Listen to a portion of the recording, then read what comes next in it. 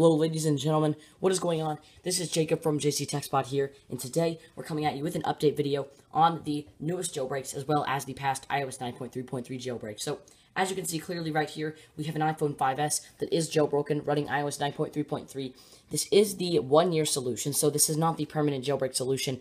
As you know, um, just you know, to do a little bit of a refresher on the last couple of weeks in the jailbreaking community, just a little bit on what has happened and what you can expect. So, as you know, someone, you know, Apple has been pretty much getting trolled really hard lately, and someone was actually able to put in the App Store an application that was the permanent solution to jailbreaking. So it was called, I believe it was PG Client was the name of the application, and essentially you could download it and right from the App Store. It was the permanent solution because you know it was from the App Store. It um, did not look anything like this.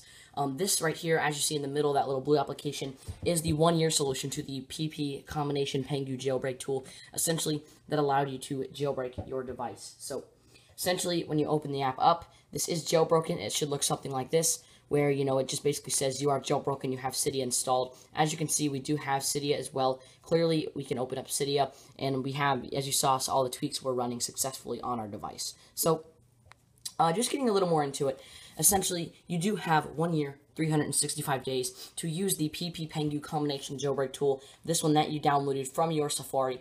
Um, so until basically essentially the certificate is revoked. Uh, we're hoping that by then Apple will have released all their new firmwares and that these teams have come up with new jailbreaks, essentially, but we aren't can't be completely sure because as of right now, I, uh, Apple released iOS 9.3.5 to essentially fix a huge security vulnerability in their devices, essentially that allowed a hacker group to essentially take full control of your device very easily. Apple patched it by uploading, uh, updating to iOS 9.3.5, but of course that does patch any possibilities for a jailbreak.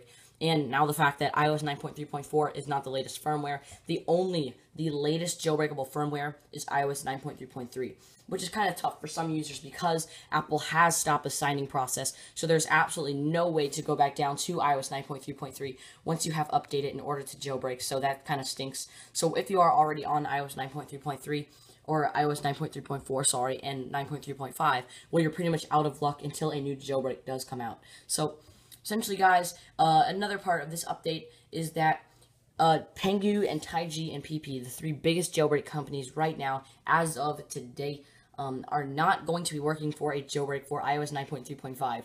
Although one has been found for iOS 9.3.4, if you remember, um, essentially Luca Todesco sent out the image of him running a device on iOS 9.3.4 that did have a semi-tethered Cydia on it. Um, well, essentially, we do know that something is out there. It's just uh, working for the TaiG and PP and Pangu teams to find the permanent solution. So, now, to the second part of this video is essentially going to be the update on the re-jailbreak process. I know a lot of you guys were definitely having some issues with re-jailbreaking after an unjailbreak. As you know, the uh, jailbreak being semi-tethered, if you do uh, accidentally shut off your phone or something happens, you lose the jailbreak. So we're going to go ahead and we're going to power off our device and we're going to turn it back on just to show you guys exactly what happens when you do do this. You will lose the jailbreak essentially. Although um, your Cydia and your tweaks remain, none of them will work at all. Cydia will crash essentially. So a lot of that stuff you've been working for is completely gone. I am going to show you guys the updated version on how you can re-jailbreak in less than 30 seconds. So um, there were, uh, in the old update, as you know, the Pangu uh, jailbreak application does update uh, on its own in the background. And the newest update allows you to not have to change pretty much any settings at all, other than finding my iPhone. You don't even have to turn off your passcode, change the name of your device, or to pretty much do anything for that matter. Although it might not work on the exact first try, it, you don't really have to change any settings. You can even be in airplane mode. So what we're going to go ahead and do, as you can see, we are uh, uh, unjailbroken here. If we go ahead and we're going to go turn in boot into airplane mode here. And you, this does not have to happen. As you saw, I have a passcode.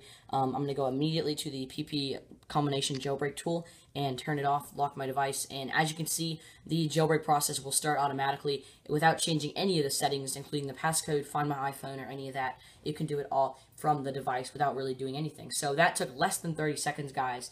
Um, but yeah, that's pretty much just an update. So just a quick refresher, iOS 9.3.4 has been jailbroken, although we don't have the public release quite yet. iOS 9.3.5, pretty much the uh, jailbreak teams, unless a new vulnerability is found in TaiG's jailbreak, which they have not released yet, um, then iOS 9.3.5 will not be jailbroken, and hopefully iOS 10 will be jailbroken in the near future, guys. So thank you so much for watching. Be sure to drop a like if this helped you, and thanks once again, guys. Jacob from JC TechSpot here, signing off, and thank you for watching.